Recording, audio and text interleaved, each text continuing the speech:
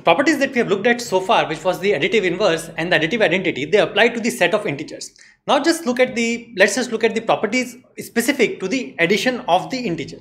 So the first property and the most basic property is that of the closure property of, of addition of integers. So what does that mean? It means that if I take any two integers, let's say minus, minus 5 and plus 3 or just 3 and I do an addition over those two, then my answer would necessarily be an integer. So that is the closure property similar to the closure property of whole numbers. It says that no matter which two integers I take, if I add them together, the answer would necessarily be an integer and that is to be expected, right? Because as we saw in the case of addition of integers, all we are doing is that we are adding and subtracting this magnitude. That is all we are doing and that would only result in an integer and then we are changing the sign based on the operands. Again, that would always result in a integer. So there is no operation involved in the addition which could ever take us outside the realm of integers as long as my two operands are integers and that is the closure property of addition of integers.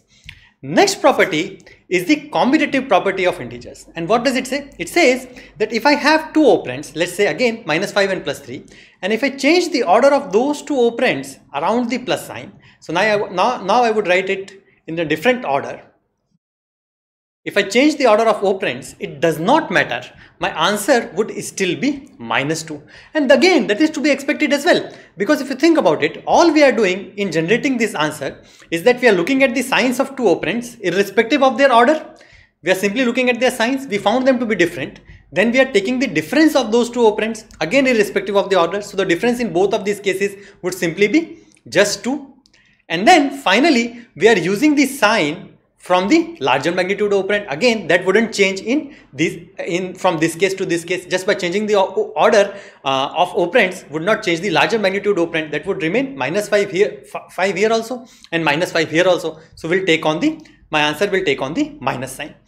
Again to take another example of commutativity let's just pick the two operands which have the same sign. So again i choose two operands minus 5 and minus 3 in this case now i change the order of those two operands and let's see what my answers would be.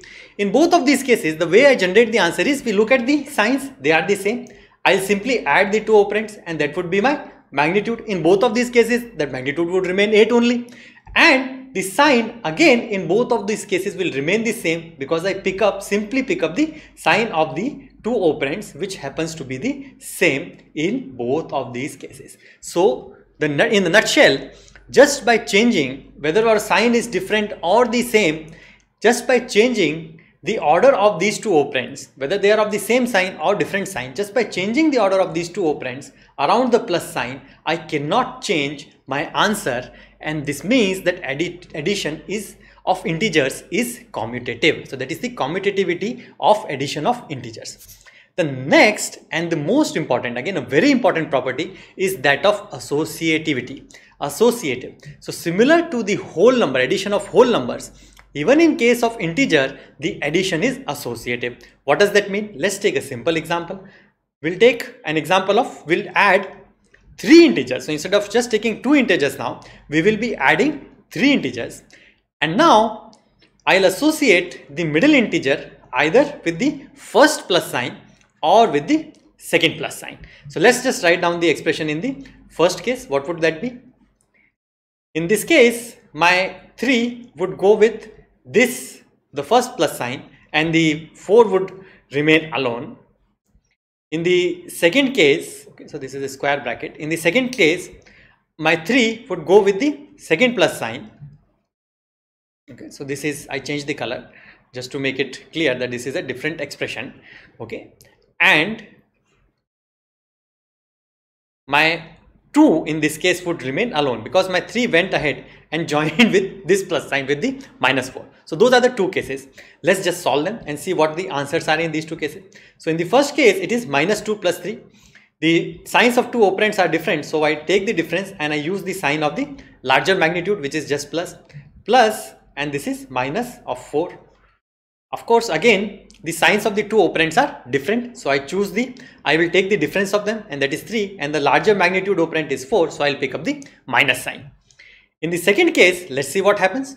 the minus 2 will come as is and now I'll take a difference of these two again because the signs are different so I'll take a difference and that would be 1 the sign of the answer would come from the larger magnitude operand which is minus now the signs of these two uh, operands around plus becomes same so I'll just add them together and of course the will copy over the sign of the operands to the final answer and that is a minus so my answer really does not change whether I associated the middle operand with the first minus sign, uh, first plus sign or with the second plus sign. This means that addition of integers, addition of integers is indeed associative as well. So the three properties which we saw were true for whole numbers, addition of whole numbers are also true for the addition of integers.